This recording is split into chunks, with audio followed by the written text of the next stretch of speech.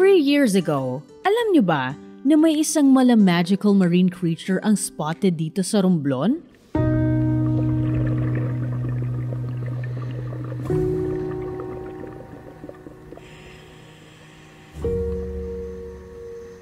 Ito ang female blanket octopus.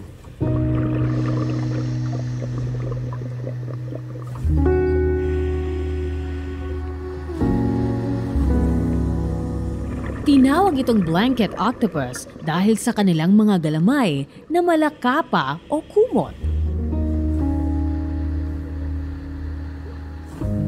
Bukod sa kanilang nakamamanghang kulay, kilala rin ang mga species na ito sa kanilang sexual dimorphism. Ang sexual dimorphism ay isang sistematikong pagkakaiba sa anyo ng dalawang magkaibang kasarian ng magkaparehong species. Gaya sa blanket octopus, Di hamak na mas malaki ang mga babaeng uri nito kaysa mga lalaki. Lumalaki ng humigit kumulang dalawang metro ang mga female blanket octopus, habang halos 1 inch lamang ang mga lalaking uri nito.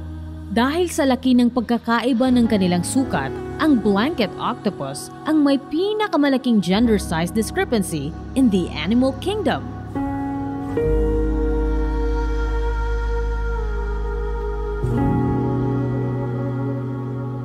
Hindi lang isa, kundi dalawang female blanket octopus ang nakita sa Blackwater diving adventure na ito. Kung titingnan, tila lumilipad ang mga female blanket octopus sa kalawakan. Mas naging magical pa ang rare sighting na ito dahil sa pag-iiba-iba ng kanilang kulay.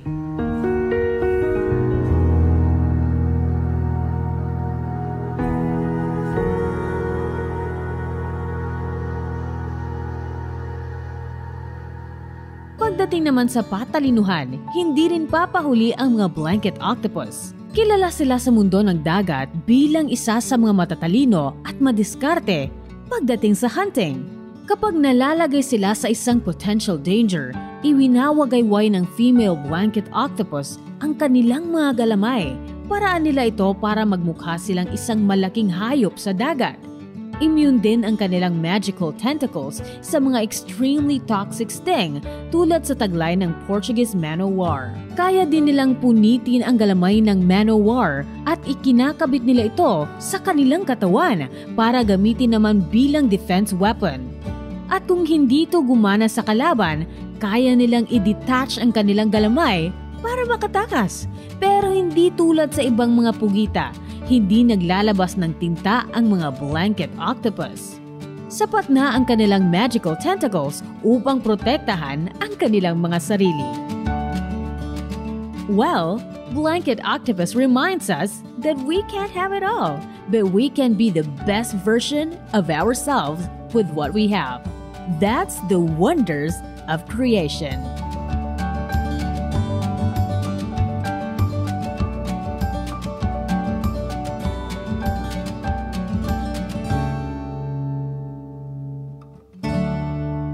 Ang dagat ay hindi na uubusan ng mga bagay na magpapamangha sa atin. And discovering these wonders of the ocean leads us for more exciting adventures. The more we get excited, the more we become appreciative and protective of our marine environment.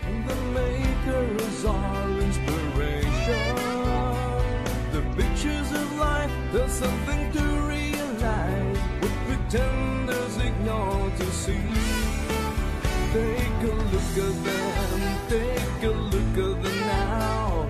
The pictures in my